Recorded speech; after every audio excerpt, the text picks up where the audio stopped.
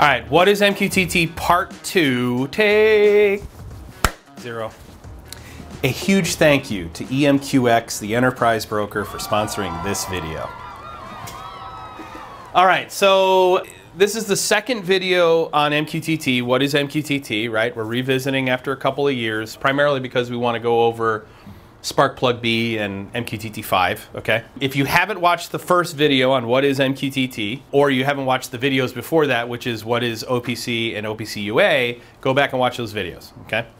In this video, we're gonna go over key elements of MQTT, some things that you need, if you're gonna, if you wanna know about MQTT, there are some key elements you need to know about, and then I'm gonna sketch like what the MQTT stack looks like, okay? All right, so key element number one about MQTT is, I really should have put a previous one, which is where did it come from? In the last video I talked about that, it was invented by Arlen Nipper and Andy Stanford Clark from IBM and Arlen, I can't remember what company he was with, but they were they were developing a new industrial protocol for Phillips 66 in the late 90s. It ended up getting adopted in consumer technology. So Phillips 66 uh, widely adopted it, completely transformed their business because um, it's lightweight, edge-driven, report by exception. It basically were able to retrieve massive amounts of data, all of their uh, telemetry data over um, very slow and unreliable serial networks. Okay, that's where MQTT came from. That's its origination. Okay, late 90s. During the early 2000s and into like 2010, 11, and 12, MQTT really spread out through like the hobbyist community. It was adopted by Facebook. If you look at um, Facebook Messenger, anywhere where you see the ellipses being used, where if somebody else is typing and you're seeing the little dots, that's MQTT. Under the hood, it's because MQTT clients that connect into brokers. Those are stateful connections. And so when I'm typing and, and I'm messaging Zach, uh, Zach's messenger client is subscribing to a topic from our connection, which is whether I'm typing. If I am typing, they're getting notified from the broker that I am typing, and their application on the other end is creating those ellipses. Okay? Zach doesn't have to check he doesn't have to keep checking to the broker to see if I'm typing. The broker is notifying him that I'm typing, and I am notifying the broker that I'm typing while I'm typing my, my keyboard, okay? So MQTT is everywhere around you. Uh, Google Nest uses MQTT in many places. It's under the hood. Um, a very, very common place that MQTT is used in the automotive industry is cars notify, cars will connect to the internet and publish payload data to central brokers over MQTT. Very, very common, okay? MQTT didn't start getting widely adopted in industrial applications until like 2010 to 2013 in that area. Over the last eight years, it's absolutely exploded, and MQTT is the industrial IoT protocol on the planet. It's the number one most popular IIoT protocol on the planet, okay? So you need to know the inventors, Arlen Nipper and Andy Stanford Clark, and where it came from. Number two, Oasis Open. Uh, you need to know Oasis because that's where the MQTT standards, that's where they're written, that's where they're approved, and that's where they're maintained. So if you want to read, there are basically two MQTT standards. You have MQTT 3.1.1, which was approved by Oasis in 2014 and has been administered by 2014. If somebody says MQTT to you, they're almost certainly talking about MQTT 3, 3.1.1, that version, okay? In 2019, Oasis approved the MQTT 5 standard, which it's backwards compatible to MQTT 3.1.1, but it's added in a bunch of additional features, okay? All right, for the 3.1.1 standard. So I strongly encourage that you go to Oasis open and you read the 311 standard and the MQTT5 standard. So you need to know Oasis Open, the people who, man who manage the standards, Oasis. You need to know the 311 standard. You don't need to know the standard, the products all work easily. But if you want to know what works under the hood, go look at 311 and MQTT5. The Eclipse Foundation, okay, is the body that manages the Sparkplug specifications. So these are in order. Okay? The Sparkplug working group at the Eclipse Foundation is made up of companies like Flow Software, Canary Labs, uh, Cirrus Link, you know, all the companies that, many of the companies that make Sparkplug B tools. That working group is the one who drives the Sparkplug standard. So I'm going to explain Sparkplug here in a second, okay? So the Eclipse Foundation manages the Sparkplug standard, which is the, the MQTT standard for industry. So when I'm doing an MQTT solution, right, I want to I want to use MQTT to connect all the nodes in my business together so that I can share data and information openly between all the nodes in my business. What's a node? A node could be a PLC, it could be an MES system, it could be your ERP system, it could be your CMMS, it could be anything else. It could be a piece of test lab equipment, et cetera, et cetera, et cetera. It could be people. What you want to do is connect those all together in this hub and spoke architecture with a unified namespace in the middle. That unified namespace is generally a broker. Most times it's MQTT broker, where the data, the topic namespace is organized like your business. Imagine it like a file share. I want to be able to go to a file share and navigate to Phillips 66, you know, site one, device A, and I want to look at all the tags in there. And then I want to go back up to site one and look at the topic called operational efficiency or total production Imagine having the ability to do that. You do that with MQTT. The infrastructures that we create, we do that using MQTT. We don't do that using OPC UA, okay? All right, so in an earlier video, we kind of showed you one of the reasons that OPC UA is not an IoT protocol, and a lot of it has to do with the fact that the standard tries to be everything to everyone and therefore it's nothing to everybody. So go back and watch that video and Jeff Schrader did a great example of all the options in the standard that basically no one ever puts in. MQTT is pretty simple, all right? On the bottom, you have MQTT3 and you have MQTT5, okay? Those are the core standards, okay? There's, there's only a couple of optional elements in either of those standards. And they are backwards compatible. So I can, it, you know, MQTT5 builds on MQTT3. Okay, so when we look, MQTT5 clients should be able to talk to MQTT3 infrastructures. Okay. MQTT5 has a couple of major additions. So from you know 2014, MQTT3 was adopted.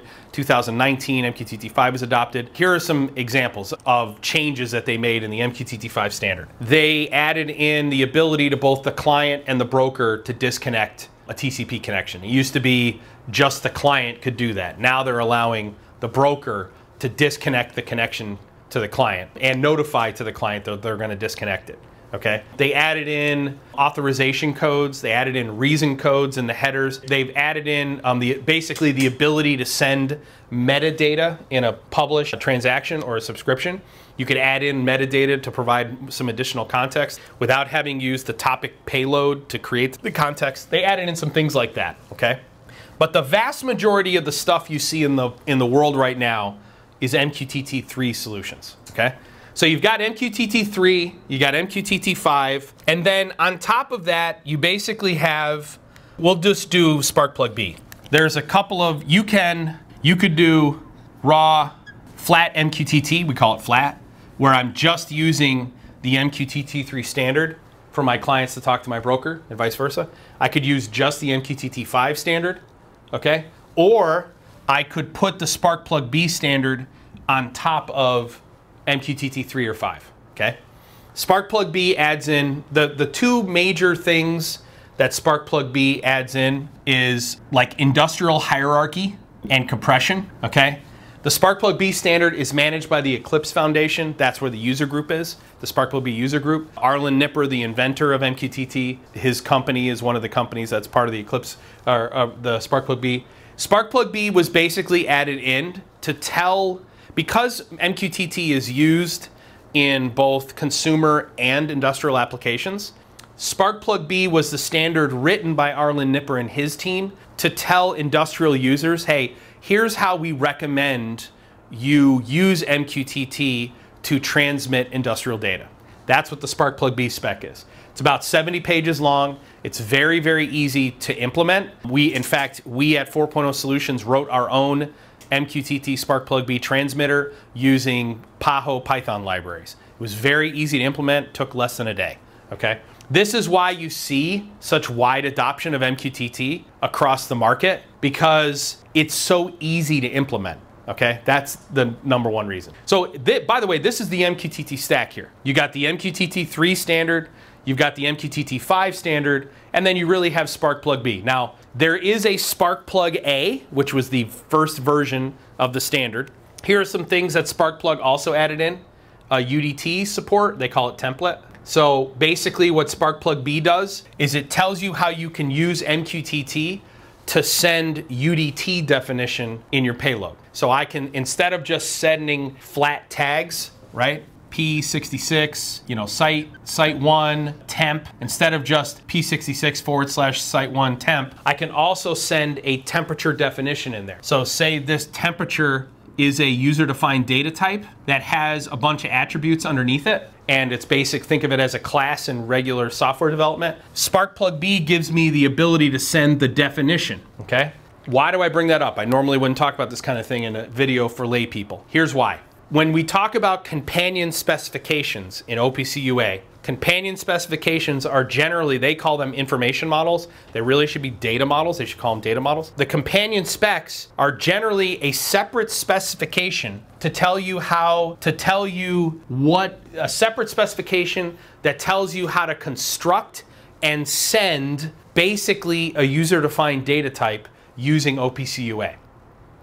With MQTT, the way they do it, is they use a common standard. Instead of having 100 companion specifications, one for each UDT that you want to send, they have a mechanism in Sparkplug B to tell you how to flag something as a user-defined data type to say, this is a template. It's a model that I am publishing to the broker.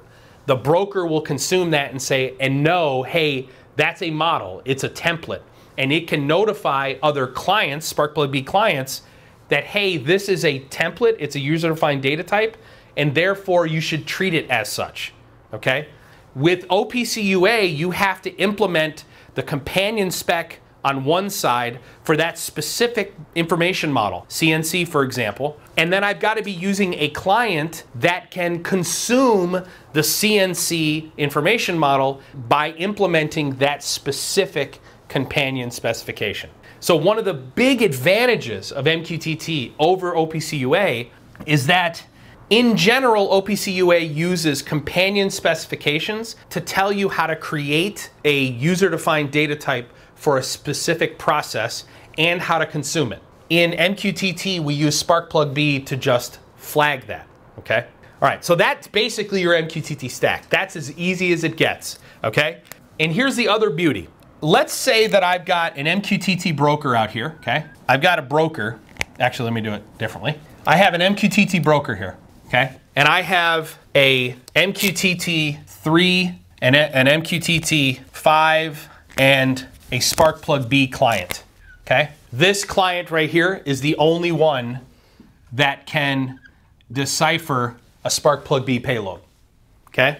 This is the only one that can support the deciphering of reason codes, reason codes and authorization authorization topics that are included in MQTT5. And this one and this one only talks flat vanilla MQTT3, this client.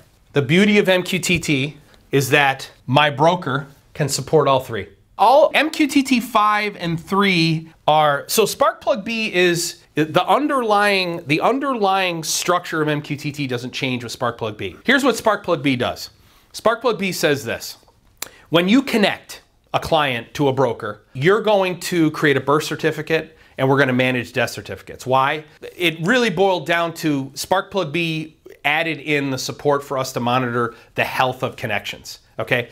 Before you had to rely on the MQTT broker, whoever implemented the broker, to include that feature. So EMQX, HiveMQ, whatever. Do they are they monitoring those connections, right? The health. Sparkplug B with birth certificates and death certificates. Sparkplug B gave you the ability to monitor the health of connections based on the number of births you see. Number two, Sparkplug B gave you the ability to create industrial hierarchies using group IDs, node IDs, right? I can take namespaces from multiple devices and send them to the same group. And the group would be my plant. So let's say I had a broker at my organization and I have 12 MQTT clients inside of one facility. I can assign a group ID for that specific facility, facility A. And I can say, hey, Sparkplug client 1 through 12, your group ID is facility A.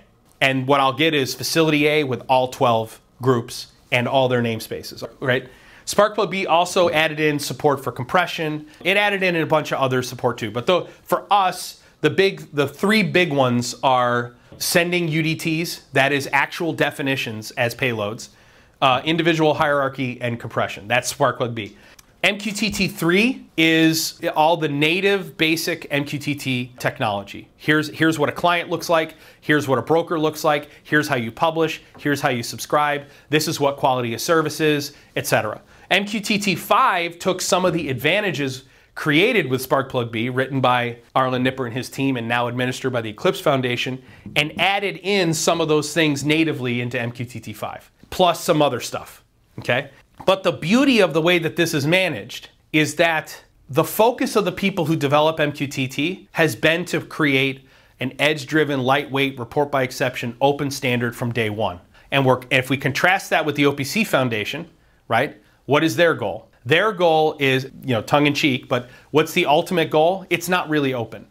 The ultimate goal is interoperability between their members' applications, right? Or more importantly, interoperability between a member's applications at the OPC Foundation. So if you want to know why we're so high on MQTT, part of it's philosophy, right? Philosophy of the people who A, invented the technology. Arlen Nipper gave Arlen and Andy gave MQTT to Oasis to administer, and Arlen's team gave Sparkplug B to the Eclipse Foundation to manage. Okay, Arlen doesn't own Sparkplug B, and he doesn't own MQTT. He doesn't have a patent on MQTT. He doesn't get paid for every implementation of it. He's literally turned it over to the community. Okay, and then what does CirrusLink do? They build solutions that support his open community democratic protocol and standard. Okay? Let's talk from a practical sense. So we why are we so high on it philosophically? Let's talk about it practically, okay? Because it's edge driven, because it's edge driven, I can scale my applications better because it's more lightweight. I can scale my applications better because I don't have to deterministically take someone centrally and go, oh, I added a machine. I need to, that machine's on the plant floor now. I need to add it here into my infrastructure. What I can do is tell all my she machines to notify me that they've been added. So as I add new equipment, they show up in the infrastructure. You can't do that with OPC UA. Well, you probably could using auto discovery if anyone ever built it, okay? The fact that they haven't built it should tell you everything about it. okay, that's number one. Number two, it's report by exception. So the things that we're publishing are only things that have ever changed. We don't waste overhead on stuff that hasn't changed. Number three, it's completely open architecture. Okay? I can build my own MQTT client. Uh, here, this is a really good example. I want you to Google MQTT broker, MQTT client, and find out just how many free MQTT tools there are out there. And then I want you to do the exact same thing for OPC. I want you to, to try and see how many free OPC clients there are, how many free OPC servers are there are out there, and then compare to how many there are with MQTT. Okay? The reason that matters is this it goes to philosophy and it goes to architecture. The philosophy of the people who build MQTT is open, MQTT tools. Okay? number two, because the specs are, in my opinion, they have no technical debt. Okay? Because they're so new, right? The first MQTT spec that's been used in industry was developed in 2014, unlike with OPC Classic, which was developed in the mid 90s. Okay, look how much technology has changed since the mid 90s. Because of that, it's easy to develop very inexpensive tools that you can just give away to people for free. Okay. All right, so anyway, what is MQTT? Key elements. The key elements are, remember, the inventors, Oasis Open, who manages the core specs, the Eclipse Foundation, who manages Sparkplug B. That's also where the Sparkplug working group is, headed up by Arlen Nipper and his team at CirrusLink. 3.1.1 was the original MQTT standard that everyone started using in industry in 2014. Sparkplug A and B were the industrial standards. How do you take MQTT? Three, the base three, and be able to ship UDTs, uh, create industrial hierarchies, and add compression, plus a bunch of other things to Sparkplug B. I encourage you to read this spec. It's only about 70 pages long. It, a big light bulb will come on when you read it. And then MQTT5, which is the latest standard adopted in 2019, that added a bunch of new features. By the way, I want to say this. If you look at how MQTT standards are, are, are changing, are evolving from MQTT 3 to MQTT 5, there is one thing that stands out above all else focus on industry. And that's all you need to know. What you really need to know is that if you watch how the standards are evolving, they're all fully backwards compatible. But if you look at how they're evolving, they're evolving for industry. And that's all you should need to know about which, which is being more widely adopted, MQTT or OPC. This video is sponsored by EMQX, the enterprise class clustered MQTT broker for your enterprise class IoT solutions. If you want to know more, go to emqx.io.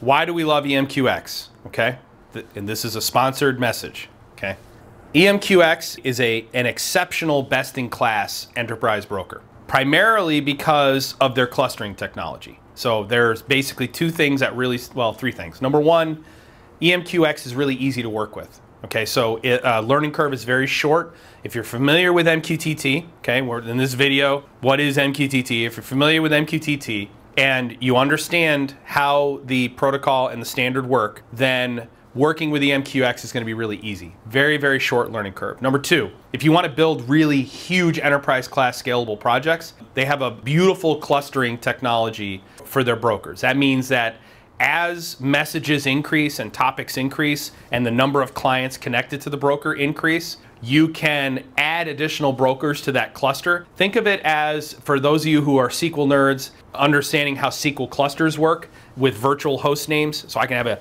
massive cluster of SQL databases in the background, the actual instances themselves with one virtual host name that allows me to talk to a, a, virtual host name that connects me to that whole cluster. And I may not know which broker I'm talking to. EMQX has very similar technology, clustering technology. So that's number two. Number three, throughput.